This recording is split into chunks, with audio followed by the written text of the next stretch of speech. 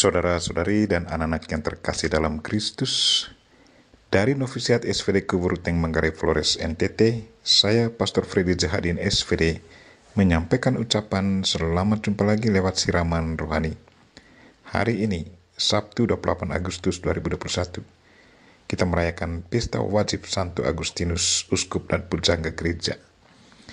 Injil hari ini diambil dari Matius bab 25 ayat 14 sampai 30 kita diingatkan bahwa dalam keunikan setiap kita diberi kesempatan untuk mengembangkan talenta yang diberikan Tuhan sekecil apa pun. Mari kita berdoa memohon penerangan Roh Kudus. Dalam nama Bapa dan Putra dan Roh Kudus. Amin. Tuhan dan Allah kami, puji dan syukur kami haturkan kepadamu karena Engkau mengingatkan kami supaya tetap tekun mengembangkan talenta yang sudah Engkau berikan kepada kami sesuai dengan kesanggupan kami. Kami mohon sadarkanlah dan doronglah kami agar selalu setia mengembangkan talenta yang sudah Engkau berikan kepada kami supaya bisa menghasilkan buah. Tuhan utuslah roh kudusmu, terangilah pikiran dan hati kami, agar sabdamu yang akan kami dengar dapat kami pahami dengan baik, dan isi pesanmu dapat kami hayati dan amalkan dalam hidup harian kami. Doa ini kami sampaikan dengan perantaran Kristus Tuhan kami. Amin. Tuhan sertamu dan sertamu juga. Inilah Injil Yesus Kristus menurut Matius bab 25 ayat 14 sampai 30. Dimuliakanlah Tuhan. Pada suatu hari, Yesus mengemukakan perumpamaan berikut kepada murid-muridnya. Hal kerajaan surga sama seperti seorang yang mau bepergian ke luar negeri, yang memanggil hamba-hambanya dan mempercayakan hartanya kepada mereka. Yang seorang diberikannya lima talenta, yang seorang lagi dua, dua dan yang seorang lagi satu, masing-masing menurut kesanggupannya. Lalu ia berangkat. Segera pergilah hamba-hamba yang menerima lima talenta itu, yang menjalankan uang itu lalu beroleh laba lima talenta. Hamba yang menerima dua talenta pun berbuat demikian juga dan berlabah dua talenta. Tetapi hamba yang menerima satu talenta itu pergi dan menggali lubang di dalam tanah lalu menyembunyikan uang tuannya. Lama sesudah itu pulanglah tuan hamba-hamba itu lalu mengadakan perhitungan dengan mereka. Hamba yang menerima lima talenta itu datang dan ia membawa laba lima talenta. Katanya, Tuan, lima talenta Tuhan percayakan kepadaku. Lihat, aku telah beroleh laba lima talenta. Maka kata tuannya itu kepadanya, Baik sekali perbuatanmu itu, hai hambaku yang baik dan setia. Engkau telah setia dalam perkara kecil, aku akan memberikan kepadamu tanggung jawab dalam perkara yang besar. Masuklah dan turutlah dalam kebahagiaan Tuanmu. Lalu datanglah hamba yang menerima dua talenta itu, katanya, Tuan, dua talenta Tuhan percayakan kepadaku, lihat, aku telah beroleh laba dua talenta. Maka kata tuannya itu kepadanya, Baik sekali perbuatanmu itu, hai hambaku yang baik dan setia. Engkau telah setia memikul Engkau telah setia memikul tanggung jawab dalam perkara yang kecil. Aku akan memberikan kepadamu tanggung jawab dalam perkara yang besar. Masuklah dan turutlah dalam kebahagiaan Tuhanmu. Kini datanglah juga hamba yang menerima satu talenta itu dan berkata, Tuan, aku tahu bahwa Tuhan adalah manusia yang kejam, yang menuai di tempat di mana Tuhan tidak menabur, dan yang memungut dari tempat di mana Tuhan tidak menanam. Karena itu aku takut dan pergi menyembunyikan talenta Tuhan itu di dalam tanah. Ini terimalah kepunyaan Tuhan. Maka jawab Tuhan itu, Hai kamu hamba yang jahat dan malas, jadi kamu sudah tahu bahwa aku menuai di tempat di mana aku tidak menabur dan memungut dari tempat di mana aku tidak menanam. Karena itu, Sudahlah seharusnya uangku itu kau berikan kepada orang yang menjalankan uang, supaya sekembaliku aku menerimanya serta dengan bunganya.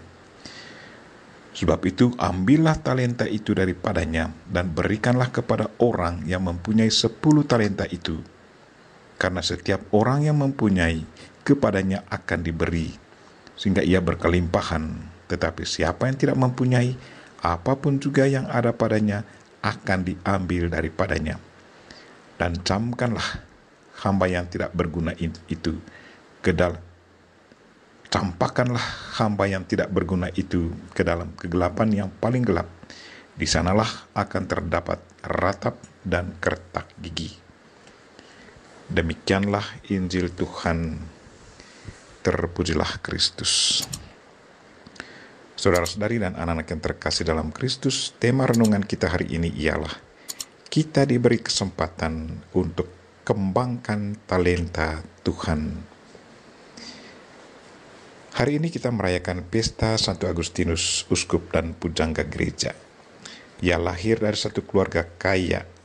Bapaknya seorang tuan tanah yang kaya raya tetapi tidak beragama. Tetapi kemudian dipermandikan masuk Katolik menjelang saat kematiannya. Kekafiran bapaknya turut mempengaruhi kehidupan Agustinus. Agustinus tidak dipermandikan sejak masa kecil ia baru dipermandikan sewaktu ia sudah menginjak masa dewasa. Ibunya Monica, seorang Katolik yang sangat setia. Ia selalu mendoakan suami dan anaknya. Monica sungguh menanamkan benih iman, nilai-nilai Kristen kepada mereka. Doanya bertahun-tahun menghasilkan buah. Suami dan anaknya bertobat dan memberi diri untuk dipermandikan masuk Katolik. Agustinus seorang anak pintar. Karena kepintarannya, ia dikirim oleh orang tuanya untuk studi di Roma. Belajar retorika dan bahasa Latin. Di Roma, kehidupan moralnya rusak. Sesudah menyelesaikan studinya di Roma, ia pindah ke Milano, mengajar retorika di sana. Karena kehebatannya dan mengajar, karena kehebatannya dalam mengajar dan kefasihannya dalam berpidato, Begitu banyak orang senang mendengarkan dia.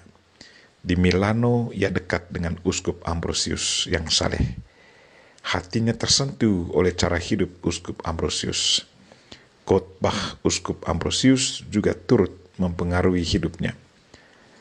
Pada suatu hari, Agustinus mendengar suara ajaib seorang anak. Kata anak itu, "Ambillah dan bacalah." Tanpa banyak berpikir, Agustinus menjamah kitab suci yang ada dekat situ, membukanya dan membacanya yang ditulis oleh Paulus untuk jemaat di Roma. Bunyinya, marilah kita hidup sopan, jangan dalam pesta pora dan kemabukan, jangan dalam perselisihan dan iri hati. Kenakan Tuhan Yesus Kristus sebagai pelengkap senjata terang, dan janganlah merawat tubuhmu untuk memuaskan keinginannya. Diambil dari Roma bab 13 ayat 13 sampai 14. Sesudah membaca tulisan itu, Agustinus akhirnya terbuka pikirannya dan melihat kebenaran. Kemudian ia bertobat dan dipermandikan masuk Katolik. Selanjutnya ia masuk seminari, ditabiskan imam. Sesudah ditabiskan, ia membantu uskup di Hippo, Afrika Utara. Sewaktu Uskup Hippo meninggal, ia diangkat menjadi Uskup Hippo. Sebagai uskup yang melayani umatnya dengan hati. Ia menulis banyak buku. Lewat buku dan khotbahnya, ia salurkan pikiran-pikiran yang mengajak orang untuk bertobat. Agustinus sudah menjadi inspirator bagi banyak orang. Ia sangat menaruh perhatian besar pada umat, terutama yang miskin dan melarat ia melayani mereka dengan sangat setia. Itulah pemimpin yang sudah menjiwai kepemimpinan Yesus Kristus. Agustinus berubah. Di masa lampau hidupnya sangat bertentangan dengan nilai-nilai Injil. Kemudian berubah menjadi pencinta Kristus. Benih-benih sabda Allah yang diajarkan oleh ibunya, Santa Monica, berkembang dan bertumbuh kemudian menghasilkan buah.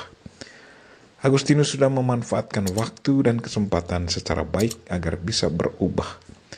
Talenta yang diberikan Tuhan sudah dimanfaatkannya dengan sangat baik, sehingga dia bisa menjadi seorang pemimpin yang sangat baik dan sudah bisa menjiwai kepemimpinan Yesus Kristus. Saudara-saudari dan anak-anak yang terkasih dalam Kristus, hari ini Tuhan mengingatkan bahwa kepada kita masing-masing, Tuhan sudah beri kita talenta sesuai dengan kemampuan kita. Kepada kita sudah di, dianugerahkan kehidupan dengan keunikan dan ciri khas kita masing-masing. Dalam keunikan itu, setiap kita diberi kesempatan untuk mengembangkan talenta sekecil apa pun. Karena itu, sebagai pengikut Kristus, setiap waktu dan kesempatan haruslah dilihat sebagai anugerah Tuhan yang harus kita isi dengan baik, agar talenta yang sudah ada dalam diri kita harus kita kembangkan agar bisa menghasilkan buah. Bersama Santo Agustinus dan Bunda Maria, kita berdoa. Tuhan, sadarkanlah kami, doronglah kami untuk selalu setia dalam mengembangkan talenta yang sudah Engkau berikan kepada kami agar bisa menghasilkan buah. Doa ini kami sampaikan dalam nama Kristus Tuhan kami. Amin. Marilah kita mohon berkat Tuhan, Tuhan sertamu dan sertamu juga. Semoga saudara sekalian dan mereka-mereka yang kita doakan pada hari ini dan segala aktivitas kita sepanjang hari ini dilindungi, dibimbing, dan diberkati oleh Allah yang Maha Kuasa. Bapa dan Putra dan Roh Kudus.